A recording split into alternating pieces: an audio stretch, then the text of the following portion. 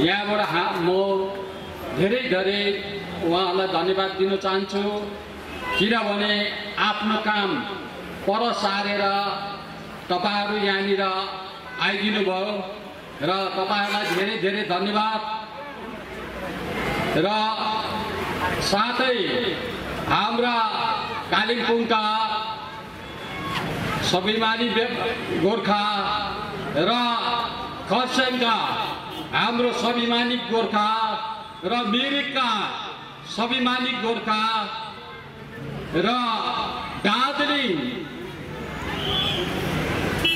आउनुभएका समष्टिका मेरा गोर्खेहरू स्वाभिमानी गोर्खेहरू। र आजको सभाको सभापतिज्यू र साथै याचोक बजार र यहाँ बजार एरियाका हाम्रो स्वाभिमानी गोर्खालाई उहाँलाई पनि म धन्यवाद दिन चाहन्छु। र विशेष गरी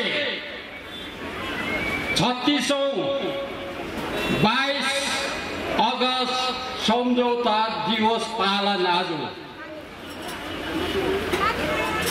र भारत सरकार पश्चिम बङ्गाल सरकार र जेएनएलएफका अध्यक्ष श्री सुभाष घिसिङज्यू बाइस आठ उन्नाइस सय अठासी सालमा का दिन एक मेमोरेन्डम अफ सेटलमेन्ट सम्झौता दिवस हस्ताक्षर भयो। र तेइस अगस्त उन्नाइस सय अठासी सालमा गोर्खाको ग्रेजुएट नोटिफिकेसन निकालेर स्पष्टसँग भएको दिन हो आज र यसले गर्दा हामी के भन्छौँ भनेदेखिलाई आज यो कालो झन्डा सुमुरी मञ्चमा लगाएर हामीले के जनाउन चाहेको यो विषयमा अलिकति छोटकरीमा तपाईँहरूलाई जनाउन चाहन्छु। विशेष गरी अगस्त पाँच तारिक अध्यक्ष मोहन घिसिङले अध्यक्ष त भन्नु पर्दैन थियो। सरी सबैमा स्वाभिमानी गोर्खा लङप्युमा उहाँले आफ्नो पट्टी लगाएर आह्वान गरेको थियो। उहाँको टेक थियो कि अब हामी चुप्प लागेर बस्नु हुँदैन। र बिस वर्षको पाइला टेक्यो र बिस वर्षको पाइला टेक्दा पनि भारत सरकारले हामीलाई अनदेखा गरिरहेछ। र अब हामी जति पनि हामी स्वाभिमानी गोर्खाहरू छौँ अब हामी निरन्तर निरन्तर हामी भारत सरकारलाई हामी प्रेसराइज दिँदैछौँ। यो निरन्तर हुन्छ। र जति पनि चौधवटा समष्टिमा कालो फ्ल्याग लगाएर हाम्रो क्याडरहरू हिँडिरहेको छ र उहाँहरूले पनि हाम्रो समष्टिमा हाम्रो साथीभाइलाई सबै कुरो जनाइरहेको छ। र त्यसले गर्दाखेरि अब हामी चाहिँ अब हामी चाहिँ यो जति पनि प्रोग्रामहरू अगाडि आउँछ हामी अब बाटोमा उत्रिने बाटोमा उत्रिएर हामी भारत सरकारलाई हाम्रो यो जुन पीडाहरू छ दीर्घकालीन माग छ यसलाई हामीलाई भारतवर्षको सरकारले हामीलाई केही बोलिदिनु पर्छ केही बोलिदिनु पर्छ र यो भारत सरकारले हामीलाई चाहिँ बोलिदिएन भनेदेखिलाई र हामी अब बिस्तार बिस्तार हामी पोस्टरको कार्यक्रम गर्छौँ समष्टिको कार्यक्रम गर्छौँ र हामी अझै पनि हाम्रो सबैलाई लिएर एउटा सेन्ट्रल कमिटीको मिटिङलाई फेरि पनि हामी तयारी गर्छौँ र यस्तै धारावाहिक निरन्तर रूपमा हाम्रो कार्यक्रमहरू छँदैछ र तपाईँलाई म भन्छु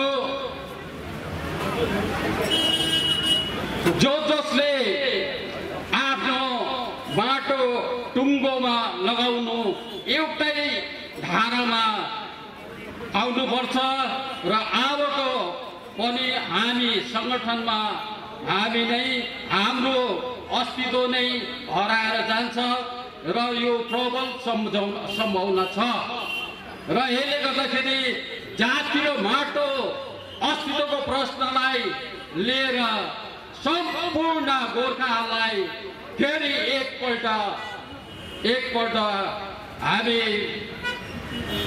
एक जग्गामा आएर एउटा मञ्चमा आएर एउटा प्लेटफर्ममा आएर सबैजना अगाडि बढ्नुपर्छ। नत्र भनेदेखिलाई यो हामीले जुन हामीले प्रोग्राम राखेको छौँ त्यसमा हाम्रो जति पनि साथीहरू छ पार्टीको साथीहरू छ एउटा प्लेटफर्ममा तपाईँहरू आइदिने र आएर चाहिँ हाम्रो मुद्दालाई फत्ते गर्नुपर्छ फत्ते गर्नुपर्छ र अब के छ भनेदेखिलाई हामीले कम्बर कस्नुपर्छ र हामीले कम्बर कसेनौँ भने हामी यत्तिकै यत्तिकै यत्तिकै हामी बिलाएर जान्छौँ र हामीले हाम्रो माग जुन चाहिँ माग छ यो हाम्रो केन्द्र सरकारले हामीलाई यही अगस्त सेप्टेम्बरभित्रमा उहाँले केही न केही भनेको हुनुपर्छ। नत्र भनेदेखिलाई यो चाहिँ हामी बाटोमा ओर्ल्यो भनेदेखिलाई अप्ठ्यारो परेर जान्छ। र हामीलाई अझै पनि उनीहरूले हाम्रो जुन चाहिँ लेखाहरू हाम्रो मन दुखो दुख विषय उनीहरूले बुझिदिएन भनेदेखिलाई हामी अब जेल मेल होस्। जेल मेल होस् र हामी जनतालाई मिसगाइड गर्दैनौँ मिसगाइड गर्दैनौँ र सपोज हामी हामी चाहिँ अगाडि निस्केका हौँ र अगाडि निस्केर हामी अब हाम्रो यो जाति र बाटोको लागि चाहिँ हामी निस्किसकेका छौँ। हामीले तिरन्जना टिका लगाएर हामी निस्किसकेका छौँ। र हामीलाई बाटोमा काहीँ के झडप हुन्छ के हुन्छ? तर त्यो बेलामा हामी सायद जङ्गल पो पस्नु पर्छ कि? जङ्गल पस्नु पर्छ कि? तर जङ्गल पसेर चाहिँ हामी जङ्गल पसेर चाहिँ हामी चाहिँ बाघ भएर निस्किन्छौँ। तर हामी स्याल भएर चाहिँ निस्किँदैनौँ। कसैको घुँडा टेकेर चाहिँ हामी स्याल भएर चाहिँ निस्किँदैनौँ। र यसले गर्दाखेरि तपाईँहरूलाई हाम्रो गोर्खा वीरहरूले बोगाएको रगतको मूल्य भारत सरकारले भारत सरकारले सँगै यो हाम्रो व्यथालाई चाहिँ बुझिनुपर्छ। र हामी भन्छौँ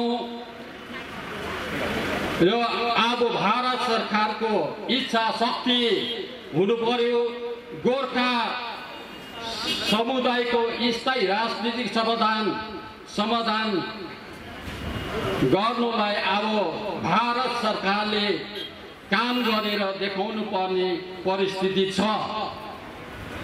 र तपाईँले आज राम्रोसँग सुन्नुहोस् र अघि त हाम्रो साथीहरूले पनि भन्नुभयो कि हामीले चाहिँ अलिकति झन्डालाई पर सारेर र हामीले यो कार्यक्रम हामीले गर्दैछौँ र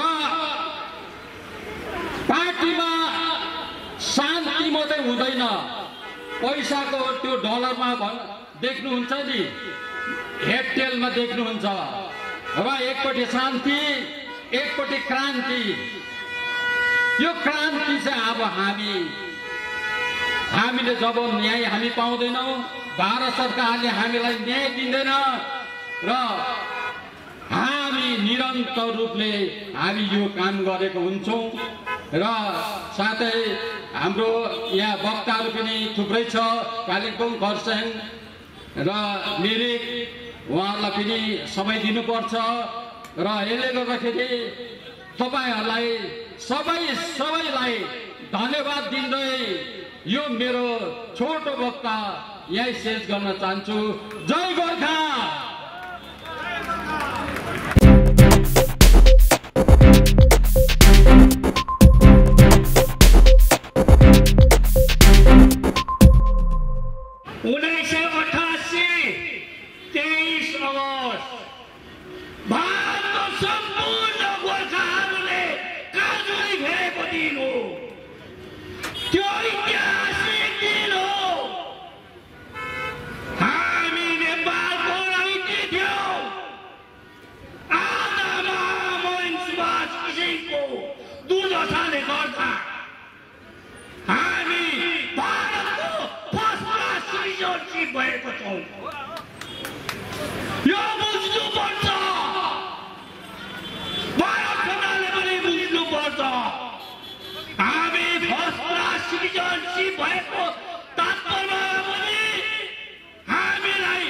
हेपाई हुँदैछ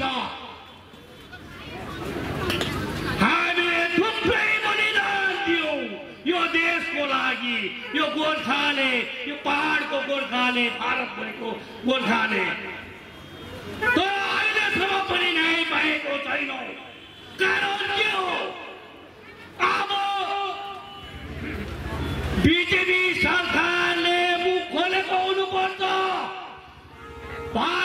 गृह मन्त्रीको मुखको ढकनी खोलेको हुनुपर्छ। भारतको प्रधानमन्त्रीको मुखको ढकनी खोलेको हुनुपर्छ। हामीले अप्सन दिइसकेका छौँ। हामीले अप्सन दिइसकेको छौँ। एबिसिडी के दिन्छौ अब हामीलाई? यो गोर्खालाई कसरी खुसी राख्छौँ? अब कालो झन्डाबाट सुरु गरेका छौँ। यो कालो झन्डा त्यसै लागेको होइन। हामी खुसी छैनौँ। यो पहाड खुसी छैन। यो पहाडको जनता खुसी छैन। सोच्नुपर्छ यो गोर्खा सिधा सादा हो। इमान्दारी छ तर यो गोर्खाको रगतमा के छ। देशलाई बताइ बस्नु पर्दैन। हामी सिमानाहरू गयो यो देशलाई चैनको निम दिन्छौँ। तर देशले हामीलाई आजसम्म केही दिएको छैन। बिस वर्ष भयो सरकार बनाउनुमा यो पहाडले मद्दत गरेको। बिस वर्षसम्म च्याउको तिल छ। अब सरकारले झट्टै भन्दा झट्टै यो गोर्खालाई न्याय दिनुपर्छ नत्र भनिखेरि छ्यासीको आन्दोलन त देखेकै हो सेन्टरले पनि स्टेटले पनि। हामीलाई स्टेटलाई भन्नु केही छैन। बङ्गाल सरकारले सोही पत्र निकालेर भनिसकेको छ। दिइसकेको छ हात काटिसकेको छ। अब भारत सरकार बोल्नुपर्छ। यो गोर्खालाई न्याय झट्टै दिएको हुनुपर्छ। हाम्रो अध्यक्ष श्रीमान मोहन घिसिङले डेडलाइन दिइसकेको छ। यो डेडलाइन भित्रमा भारत सरकारले यो गोर्खाहरूलाई न्याय दिइसकेको हुनुपर्छ दिनदिनै पहाडको अवस्था बिग्रिँदैछ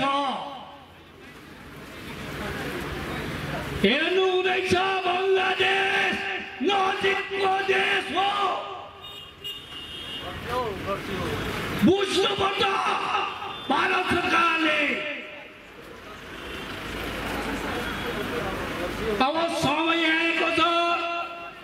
सबै पार्टीहरूलाई यहाँबाट मेरो अपिल सबै झन्डा थन्काएर एक स्वाभिमानी गोर्खा भएर हामी अगाडि आउँ त कवि नै समय छैन। आउनुहोस् युवाहरू जोडिनुपर्छ युवतीहरू जोडिनुपर्छ। समय छैन। दार्जिलिङको स्थिति खराब भएर गइसक्यो। भारत सरकारले बुझेको हुनुपर्छ। नत्र भने फेरि यो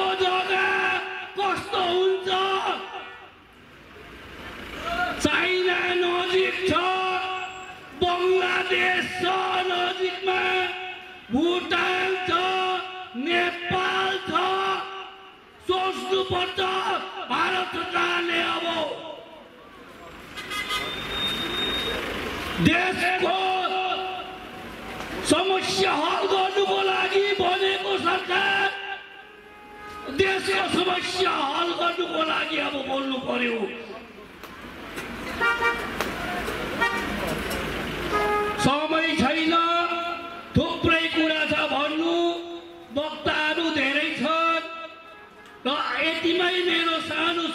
किनै समाप्त गर्दछु धन्यवाद। जय गोर्खा जय गोर्खी जय स्वाभिमानी गोर्खा।